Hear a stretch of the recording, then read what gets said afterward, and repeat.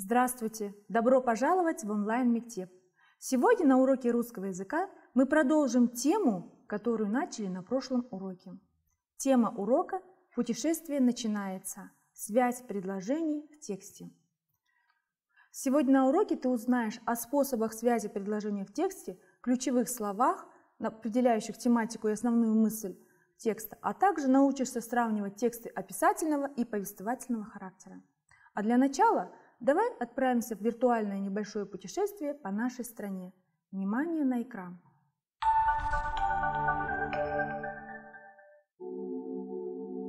Сколько у нас разнообразных видов степей, от тенистой лесостепи с ее манящей прохладой до знойных засушливых просторов. В Казахстане можно встретить всю палитру пустынь, от песчаных до каменистых, и все разнообразие гор, от маленьких сопок до заснеженных вершин Тяньшаня. Захотел поймал осетра в Каспийском море или искупался в ледяном горном озере. Даже температура воздуха в разных регионах кардинально отличается. От плюс 50 в пустыне летом до минус 50 на востоке зимой. Предлагаю вам совершить путешествие по самым красивым местам нашей Родины. Чтобы получше все рассмотреть, мы заберемся на самую высокую гору Казахстана – вершину Хантенгри – это второй по высоте пик в горной системе Тяньшань. Хантенгри переводится как «повелитель неба». Наверное, что-то мистическое на самом деле есть в этой белоснежной красавице вершине. Множество альпинистов со всего мира прилетает, чтобы покорить невероятную высоту. И сразу же спустимся на много километров вниз и попадем в песчаную пустыню Кызылкум – Размер ее целых 300 тысяч квадратных километров. Это пустыня по протяженности как целая Италия. Здесь можно встретить маленьких и милых тушканчиков, антилопу джейран, дрофу красотку, но также нарваться на ядовитых змей эфу и гюрзу. После жаркой пустыни обязательно нужно охладиться и искупаться в прохладном озере. А вот озер у Казахстана очень много – Общая площадь всех озер больше, чем площадь королевства Нидерланды. Озера весьма разнообразны.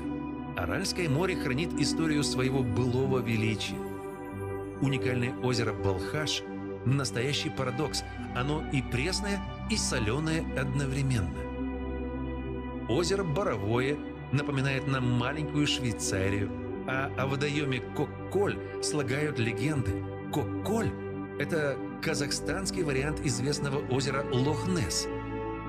Время от времени на водной глади появляются воронки, которые похожи на движение огромного подводного змея.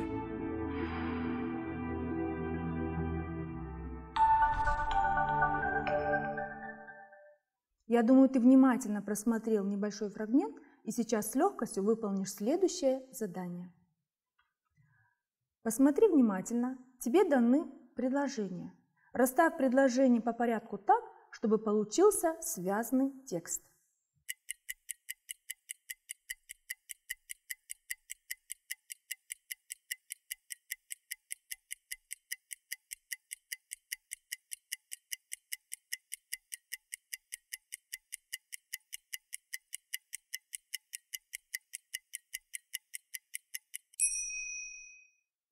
Ну а теперь давай проверим, что же у тебя получилось. У тебя должен получиться вот такой текст. Я отправился в путешествие по Казахстану. Мне довелось увидеть высокие горы, глубокие реки, чистые озера, бескрайние поля, зеленые леса, жаркую пустыню. Я понял, что в нашей стране много красивых мест. А теперь ответь, пожалуйста, мне на такой вопрос – что помогают ключевые слова определить в тексте? Правильно, ключевые слова помогают определить тему. Чем связаны между собой предложения в тексте? Правильно, все предложения связаны в тексте одной темой. На прошлом уроке мы с тобой говорили о таком типе связи, как последовательный. О чем он говорит? Давай вспомним. В последовательном типе связи предложения связаны друг за другом, как цепная реакция. Одно предложение следует за другим. А теперь перейдем к следующему упражнению. Обрати внимание, тебе дан текст, внимательно прочитай его.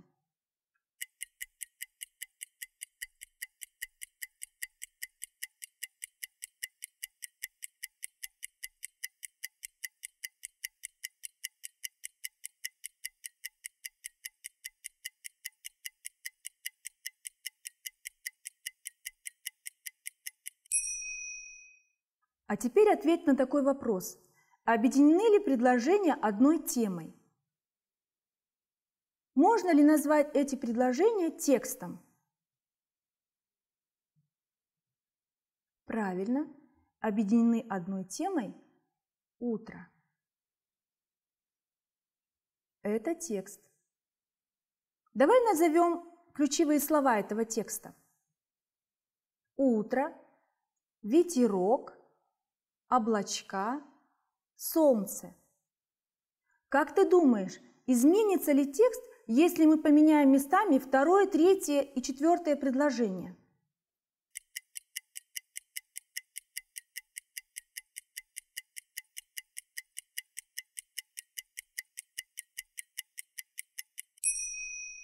Ну а теперь давай проверим. В первом тексте у нас такие ключевые слова были. Утро, ветерок, облачка, солнце. Что же изменится, если мы переставим предложение второе, третье, четвертое таким образом? Утро, облачка, солнце, ветерок. Поменяется ли смысл, поменяется ли тема этого текста? Утро было свежее, чистое. Белые облачка бродили в голубом небе. Ласковое солнце дарило теплоту. Легкий ветерок шевелил ярко-зеленые листья деревьев. Изменилась ли тема этого текста? Конечно же нет. Ты заметил, что в этом тексте первое предложение выделено жирным шрифтом? Как ты думаешь, почему? Правильно, потому что в этом предложении содержится основная тема этого текста. В тексте описания первое предложение может содержать тему, а остальные дополняют и уточняют его. Запомни это. Ну а теперь давай перейдем к следующему упражнению. Ответь мне на такой вопрос. Почему многие так любят путешествовать? Я думаю, что ответ на этот вопрос ты сможешь найти в следующем упражнении. Прочитай, определи основную мысль текста, назови ключевые слова, определи способ связи предложений.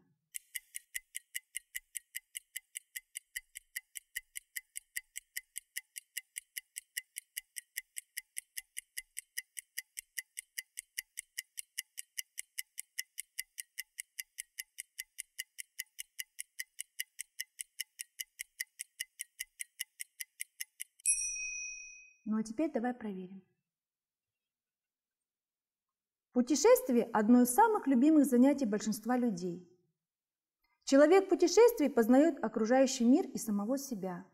Во время путешествия наполняешься энергией, силой, положительными эмоциями. На Земле очень много необычных уголков, красивых мест. Они заставляют пережить потрясающие эмоции, чувства. Ты видишь, что в этом тексте выделены ключевые слова. Путешествие, мир, энергией, силой, эмоциями, уголков, мест, чувства.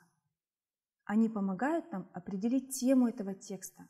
В этом тексте говорится о путешествии, о любви к путешествию. Давай попробуем определить способ связи предложений. Способ связи предложений в этом тексте параллельная.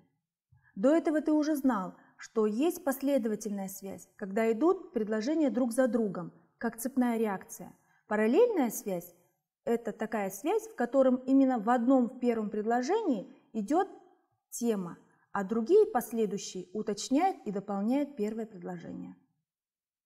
А теперь перейдем к следующему упражнению. Тебе даны слова, ты должен составить из этих слов предложение, поставить знаки препинания в конце каждого предложения, определить способ связи предложений.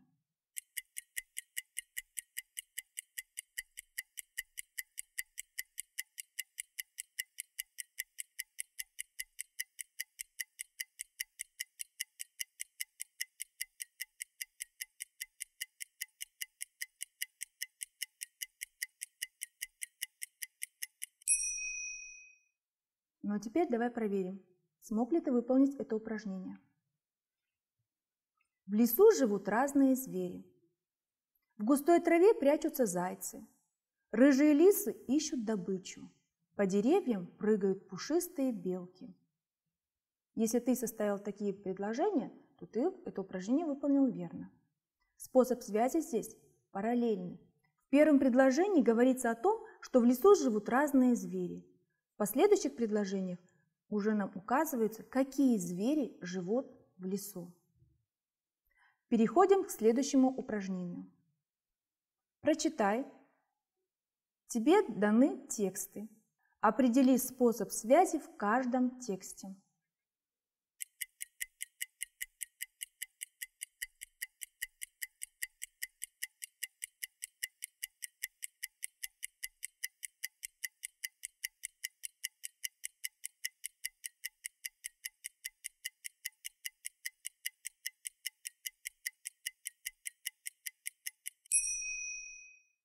Ну а теперь давай проверим, как ты выполнил это упражнение. Недалеко от нашего села стоит лес. В лесу водятся зайчишки. Они любят грызть молодые ветки.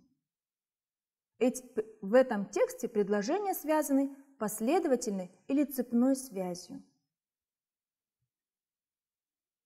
Пришла весна, солнце согрело землю, в лесу побежал ручеек, прилетели птицы. В этом тексте предложения связаны параллельной связью. Ну а теперь давай подведем итоги сегодняшнего урока. Сегодня на уроке ты узнал, что кроме последовательной цепной связи предложения в тексте есть также параллельная связь, когда предложение первое содержит основную тему, а последующие предложения уточняют или дополняют это предложение. На этом урок окончен. До свидания, до новых встреч!